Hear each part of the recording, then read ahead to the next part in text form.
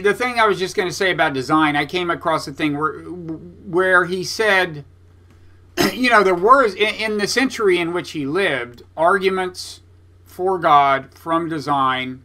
Some were famous. I mean, this is when uh, William Paley wrote his uh, work on natural theology, I think, and you know, famously said, "Look, organisms are different from rocks. I mean." Organisms are more like pocket watches in terms of intricacy yeah, function. Yeah. And we know that pocket watches have a designer, so organisms must have. Hume did not contest that, which is actually interestingly, even Richard Dawkins doesn't contest that. I mean, Dawkins says, yeah, animals were designed just not by God, they were designed by natural selection. And Hume, in a way, says something kind of analogous. He says, like, he says, okay, it's one thing to infer design but you have to be careful in what you can infer about the designer. Right. So, you know, so even if you uh, if you accept that okay, an animal must have been designed by something pretty smart, that doesn't mean we're talking about the God of Christianity or something, and that which was the kind of of, right. uh, of step that Paley wanted to take. Well, look, the design arguments never ever got you beyond anything like a rudimentary deism. I mean, I mean that that's the reason why you know, I think in every single debate I ever saw Hitchens do with theists, he would always sort of, you know, especially with William Lane Craig, who would constantly trot out these cosmological arguments, Hitchens would always say, Great, even if I grant you all of that, all your work is still ahead of you, right?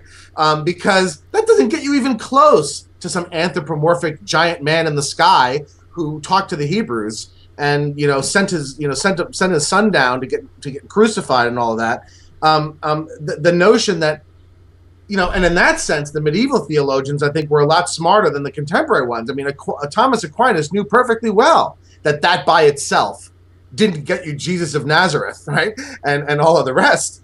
Um, um, um, and even Anselm, much earlier, I think, probably uh, wouldn't have fallen prey to that sort of mistake. Um, um, right. I, am I'm, I'm probably not even as, as inclined as Dawkins to even ascribe design to subscribe design even in the minimal sense but you know you and i have argued about that also so that's no, well, no that's reason, a question of language no reason to bore people with that again. No i mean it's a question i think just think it's a question of language. I mean natural selection clearly the creative process of natural selection is very different from the creative process that created a rock and it leads to this sort of uh, functional integration yeah. uh, that and, and teleological behavior on the part of the organisms, goal seeking behavior on the part of the organisms that in other contexts we do associate with design. But whether you want to use the term, uh, as some people do, or use it in quotes or whatever, that doesn't really. Uh, yeah, it doesn't matter that matter much. To me. You, you're, you're not employing it to make theistic arguments, and so. Well, no, I do. One thing I do think is, uh, is, and this is uh, what's.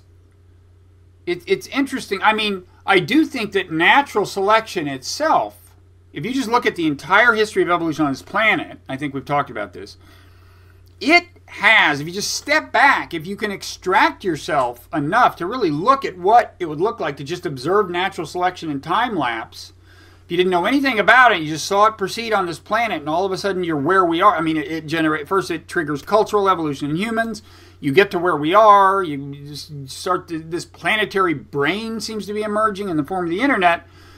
You know, I think an observer would go, "Whoa, that's kind of a, a it's amazing. B, it's kind of like um, it, it has something in common with the way an organism develops. So I think you could believe that natural selection, and again, I mean natural selection, nothing spooky, not intelligent design, just nuts and bolts natural selection. You could argue that that may have been in set, set, in motion in some sense uh, to reach a goal, achieve a purpose, and so in that sense there may be purpose. Now, what's what's interesting here is, as you note, that doesn't mean it, it that doesn't get you an interventionist God. In fact, I mean, it might get you a deistic God. Uh, the truth is, it doesn't even necessarily get you that. I won't elaborate, but right. but what's interesting to me is even though uh, granting, hypothetically, some sort of purpose to natural selection doesn't get you any very precise place theologically. It totally freaks almost everyone out who consider in the in the modern kind of scientific community. They just don't yeah. want to hear well, it, and, and, and, they refuse to entertain. They refuse yeah. to listen. They literally refuse to listen to the argument. Right, because they immediately leap to the theistic conclusion and they assume that that's what this is about. And I mean, my reaction to it is very different. Different. I mean, uh, to me, these are you know, in a sense, what we talked about last time, Gideon-esque stories. Yeah. You know, to me, the key is when you say if an observer, and my, my what I would want to say, an observer like us were to look at this, they would say, "Oh, wow, this is really." But to me, that says everything about the observer and nothing at all about the thing being observed. Well, okay, Um, but, but that's our difference. I mean, that's the okay, you know, but but I would just point out that the argument I'm making, the, the logic of that argument, is the logic held by Dawkins in the book The Blind Watchmaker. Yeah, he doesn't apply it to natural selection, but it's exactly the same logic, and he's exactly the kind of purpose person who'd be totally freaked out if you took his own logic and just Yeah, and just changed the context. And I'm just saying, right. I'm just saying that a lot of people who's who now make a living by preaching the virtues of reason yeah, and dismissing religious people as irrational themselves when they sense some argument is threatening are just as irrational and closed-minded Oh, that's absolutely sure, true. I, I, I loved um on the old meaning of life site, the original one. Uh, you got Dan Dennett to admit this. Well he says he didn't but I, I, watched it. He explicitly admitted it. I Uh, watched. well my okay. view is what he said adds up to an on video. yeah no Uh, I, I you know I, I- think i mean he just twisted him in this in the ensuing email exchange which is online you can find he somewhere. twisted He himself. just into twisted himself in knots. It just Right. made no sense what he was saying. Once I pointed out to him that that what he said was tantamount to acknowledging that there is at least some evidence that evolution has purpose, he totally freaked out. He heard from his flock of admirers that he had committed heresy, and the ensuing email exchange. And you know there will be commenters who scream at me for being a Yeah. jerk.